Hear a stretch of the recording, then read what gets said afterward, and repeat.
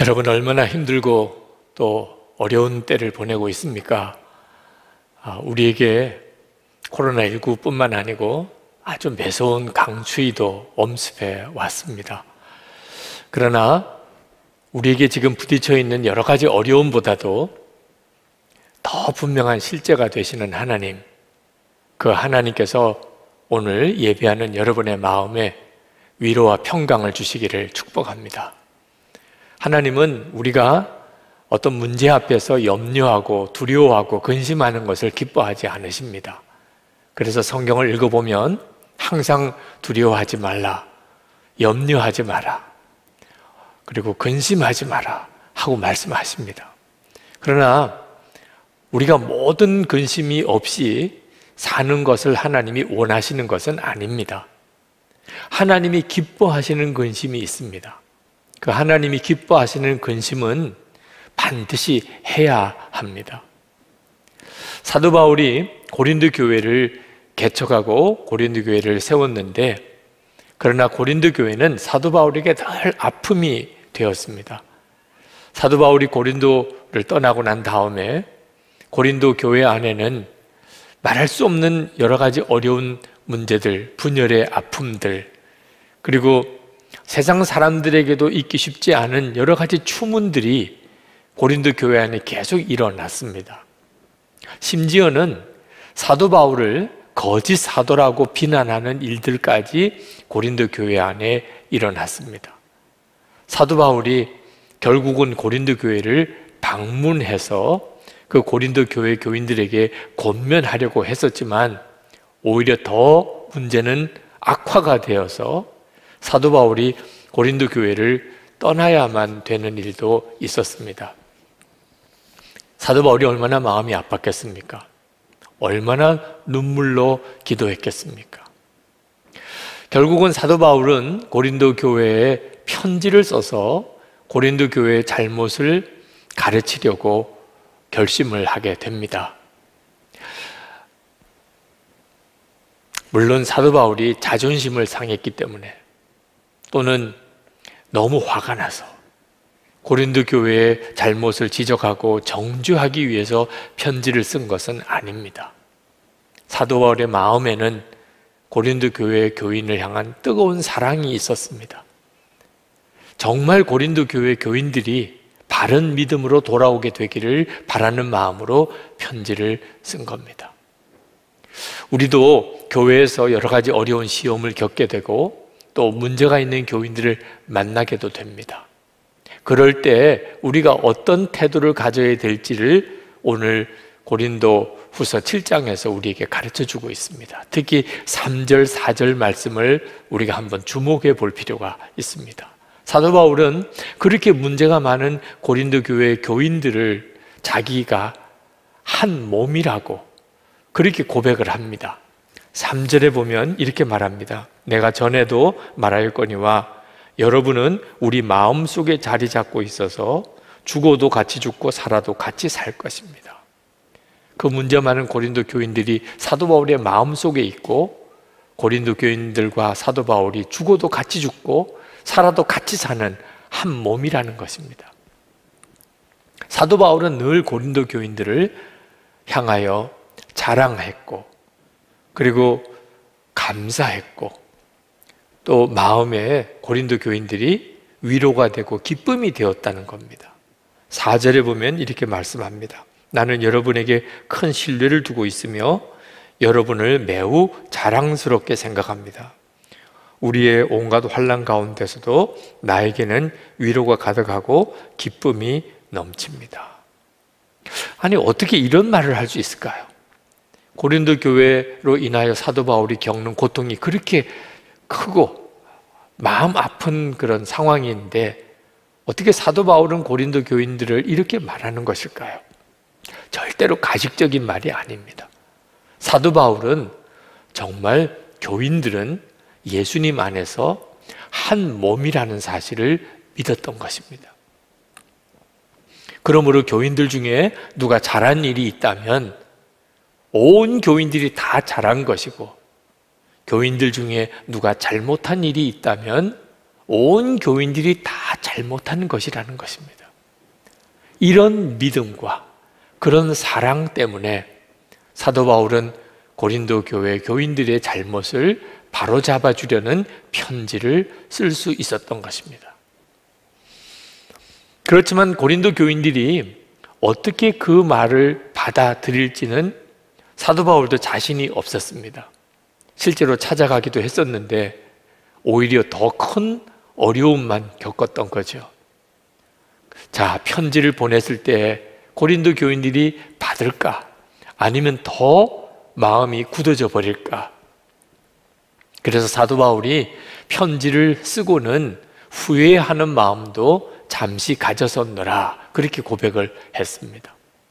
그런데 그 편지를 가져갔던 디도가 돌아와서 너무나 놀라운 소식을 전해 주었습니다. 고린도 교회 교인들이 7절 말씀에 보면 사도 바울을 정말 그리워하고 있고 사도 바울에게 잘못한 일을 뉘우치고 사도 바울을 열렬히 변호한다는 말을 전해준 겁니다. 사도 바울이 그 말을 들었을 때 얼마나 감격스러웠겠습니까? 아마 틀림없이 무릎을 꿇고 하나님께 눈물로 기도하며 감사하며 찬양했을 겁니다. 아니, 제가 이 말씀을 묵상할 때 저에게도 눈물이 났을 정도니까. 고린도 교회 안에 회개의 부흥이 일어나게 된 겁니다. 구절 말씀처럼 이것은 하나님이 기뻐하시는 근심, 아픔이었습니다. 세상 근심은 우리를 죽게 만듭니다. 그래서 하나님이 하지 말라고 하는 것입니다. 그러나 하나님이 기뻐하시는 근심은 우리를 회개하게 만들고 그리고 우리에게 구원을 이루게 해 줍니다.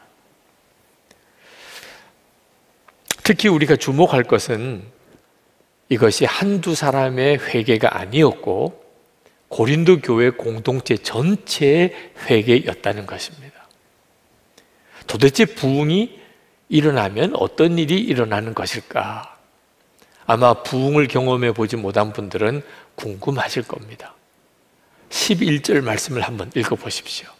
아, 부흥이 일어나면 이렇게 되는 거구나 하는 것을 알 수 있습니다. 보십시오. 하나님의 뜻에 맞게 마음 아파함으로써 여러분에게 얼마나 많은 변화가 일어났습니까? 여러분이 나타낸 그 열성, 그 변호, 그 의분, 그 두려워하는 마음, 그 그리워하는 마음, 그 열정, 그 응징은 참으로 놀라운 것입니다. 여러분은 그 모든 일에 잘못이 없음을 보여주었습니다.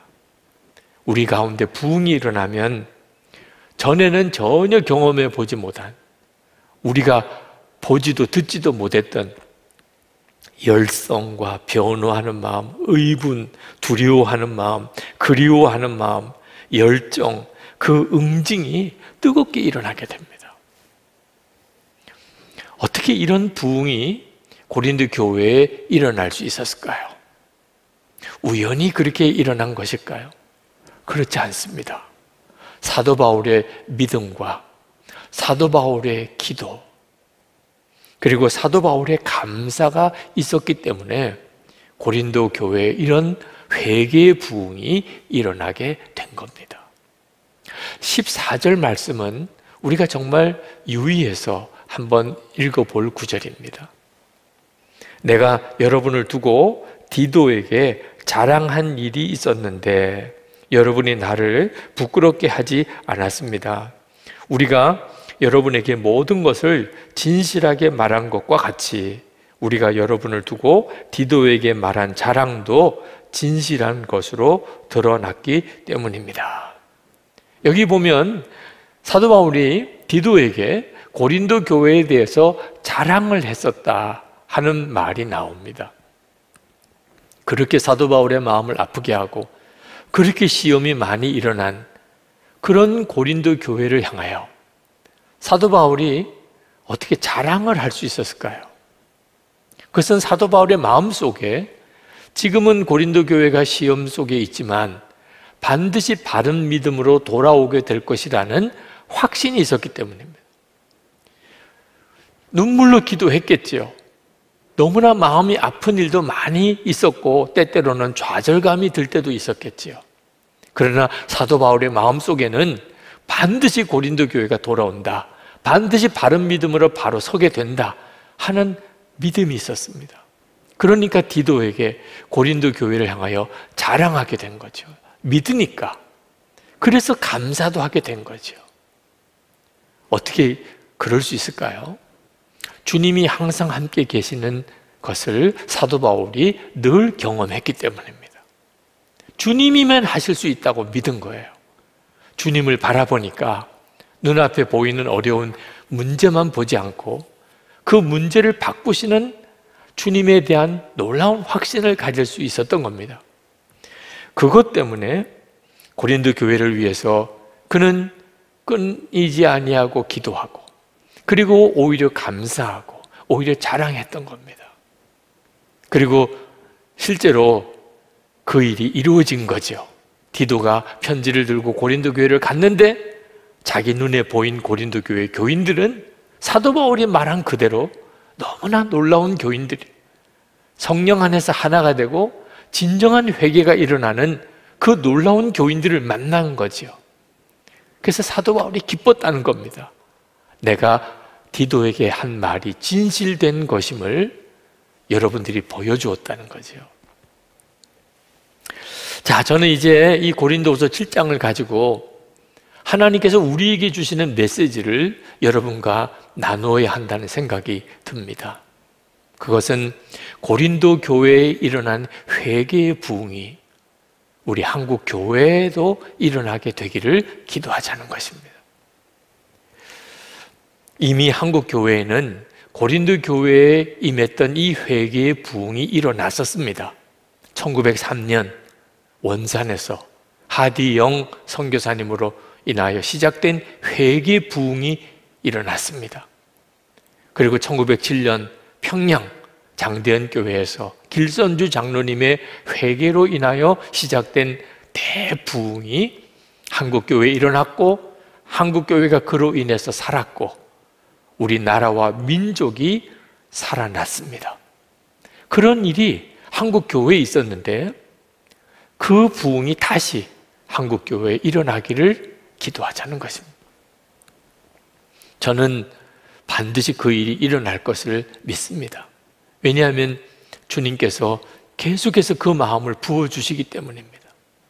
한국 교회를 위해서 기도하면 하나님은 계속해서 이 땅에 새 부흥이 일어나기를 기도할 마음을 계속 주십니다.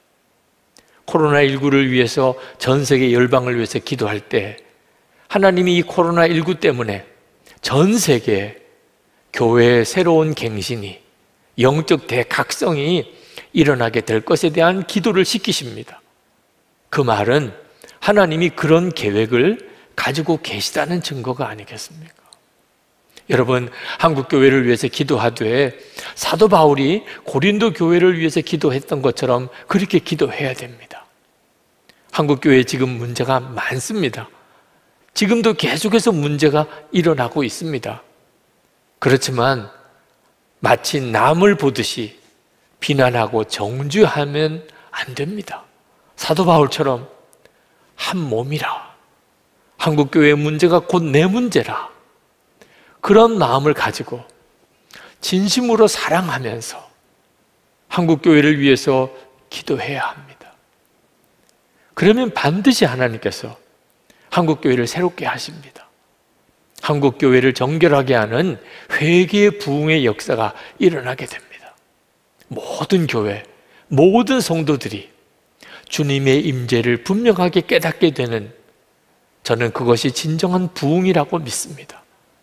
주님이 함께 계시는 것이 믿어지게 될 때 모든 게 달라지게 됩니다. 이런 일이 우리가 기도하는 가족들에게 일어나고 우리가 기도하는 이웃들에게 일어나게 되기를 우리가 정말 기도해야 되고 또 하나님은 그 일을 이루시게 될 것이라고 믿습니다. 한국교회에 정말 회개의 부흥이 일어나게 될까요? 저는 확신합니다. 왜냐하면 우리 안에 이미 회개의 부흥의 불씨가 있기 때문에 그렇습니다. 저에게도 여러분에게도 이미 한국교회 전체를 뜨겁게 불태울 수 있는 정말 불이 임하는 그런 부흥의 불씨가 우리에게 있습니다. 성령이 근심입니다. 에베소서 4장 30절. 하나님의 성령을 근심하게 하지 마라. 그 안에서 너희가 구원의 날까지 인치심을 받았느니라. 여러분은 성령의 근심을 느끼지 않으십니까? 이렇게 살면 안 되는데, 아, 더 이상 이런 일은 내가 이제는 그쳐야 하는데, 이제는 진짜 돌이켜야 될 때인데, 여러분은 여러분의 마음 속에서 성령께서 계속해서 근심하시는 일을 경험하고 있지 않습니까? 다 경험하실 겁니다. 여러분이 정말 예수님을 믿은 구원받은 사람이라면 성령의 근심이 없는 사람은 없을 겁니다.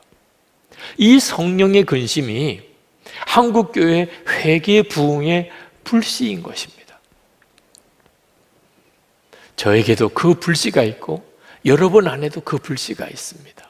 문제는 우리가 성령의 근심을 얼마나 마음 아픈 그런 고통으로 느끼느냐, 아니면 무시하고 사느냐 하는 것이 문제입니다.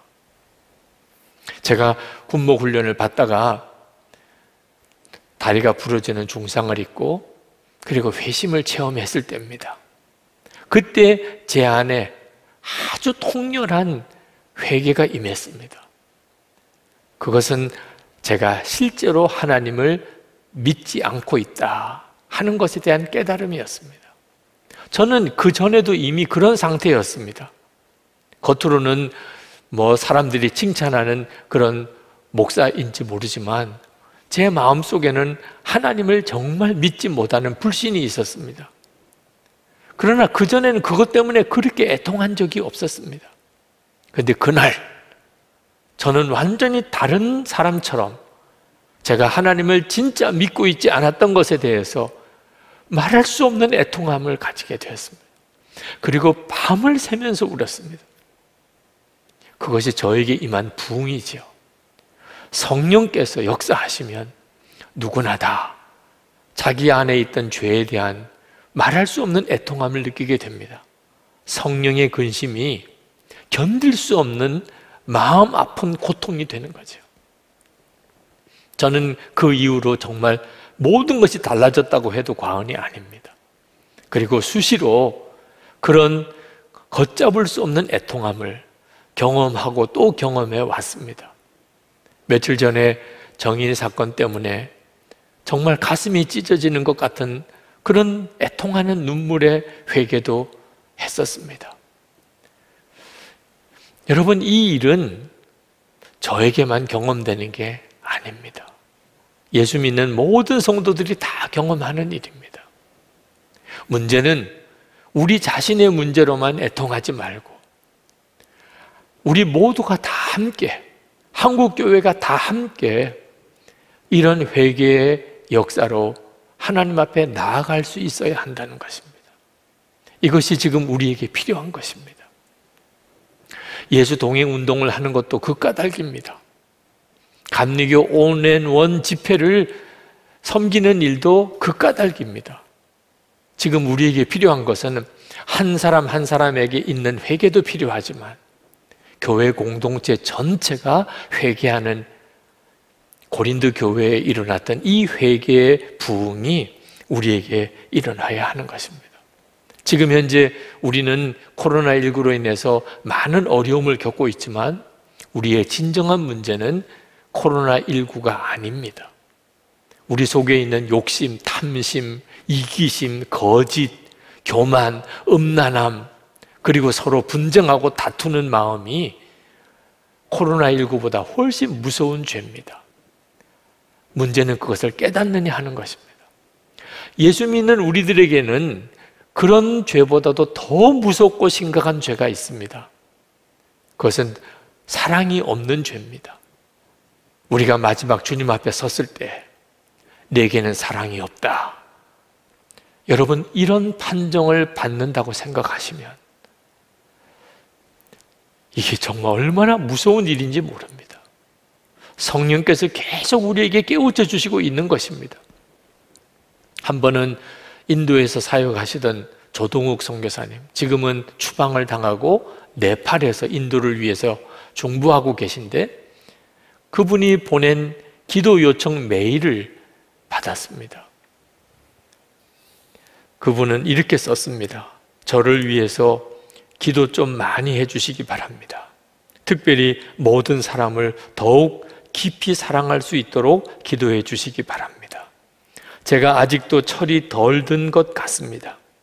제가 사역하는 이곳에는 어려운 일, 힘겨운 상황이 많이 생깁니다. 그런 일들 뒤에는 덫에 걸려 나무에 매달린 짐승을 잡아먹지 못해 안달하며 나무 밑을 어슬렁거리는 큰 짐승처럼 저를 괴롭히는 사람들이 많습니다. 제가 저들을 미워하지 않는 정도의 믿음은 얻었습니다. 감사하지요. 제게는 저들을 미워할 시간도 없을 뿐더러 그럴 마음이 생기지도 않습니다. 오히려 저들을 극률이 여기고 격려하고자 하는 마음이 앞섭니다. 그러나 더 너그럽게, 더 다정하게, 더 부드럽게 저들을 품어주고 격려해 주지 못하는 저를 발견하게 됩니다. 저를 더욱 안타깝게 하는 것은 저들의 나를 향한 이유 없이 미워하는 마음에 감동을 안겨 저들이 미움의 줄을 스스로 풀어놓을 정도로 나의 사랑이 큰 위력을 가지지 못하다는 사실이 안타까울 뿐입니다. 정말 큰 사랑, 아무나 아무 것이나 녹여 내릴 수 있는 농익은 사랑을 가질 수 있도록 기도를 부탁드립니다. 제가 참 마음이 괴롭습니다. 제가 조동욱 선교사님의 이 메일을 읽으면서 너무너무 마음이 무너졌습니다. 도대체 우리 한국 교회 이 선교사님에게 사랑을 더 주시기를 기도할 수 있는 자격이 있는 그리스도인이 몇 사람이나 되겠느냐 하는 것입니다. 여러분, 우리가 진짜 마음 아프게 기도해야 될 제목이 있습니다. 세상 먹고 있고 사는 것 때문에는 근심하지 말아야 하지만, 지금 우리 안에는 심각한 문제, 우리가 주님 앞에 설 때를 생각하면 정말 두려운 문제들이 있습니다. 여러분, 지금 여러분 안에는 예수님을 진짜 인격적으로 만나고 싶은 마음 때문에 정말 죽을 각오를 하고 하나님께 매달리는 안타까움이 있습니까?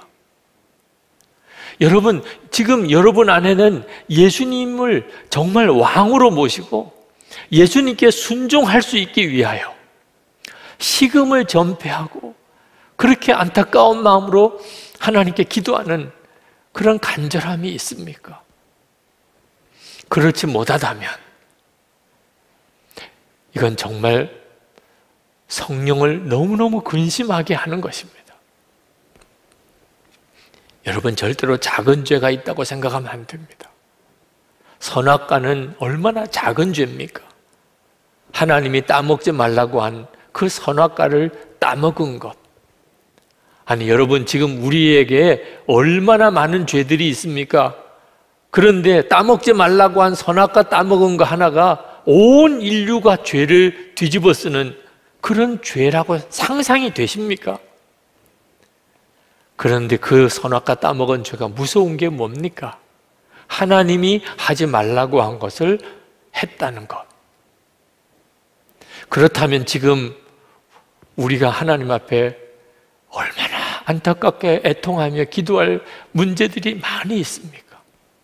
우리가 진짜 우리 안에 역사하는 성령의 근심을 심각하게 생각하기 시작한다면 저는 반드시 우리 한국 교회의 회개의 부흥이 불붙기 시작할 거라고 확신합니다. 가정 안에 우리가 섬기는 교회, 한국 교회 전체, 고린도 교회처럼 진정한 회개의 부흥이 일어나게 됩니다. 그러면 우리가 진짜 하나님의 뜻대로 근심하게 된다면 그러면 모든 풍파 다 잔잔해지게 됩니다. 모든 시험은 다 떠나게 됩니다. 모든 불안은 다 사라지게 될 것입니다. 그리고 우리 주변에 있는 사람들이 예수 믿는 우리를 통하여 우리 한국 교회를 통하여 다 기뻐하는 역사가 일어나게 될 것입니다. 그 일을 위해서 우리 같이 기도합시다. 그리고 성령의 근심에 우리가 합당한 반응을 보이십시다. 하나님, 나에게 더 말씀해 주세요. 주님, 제가 정말 고쳐야 될 것, 즉시 바꿔야 될 것들 무엇인지 주님이 아파하고 주님이 정말 안타까워하는 것이 내게도 그렇게 느껴지게 해주세요. 이 시간에 우리 같이 간절한 마음으로 기도하겠습니다.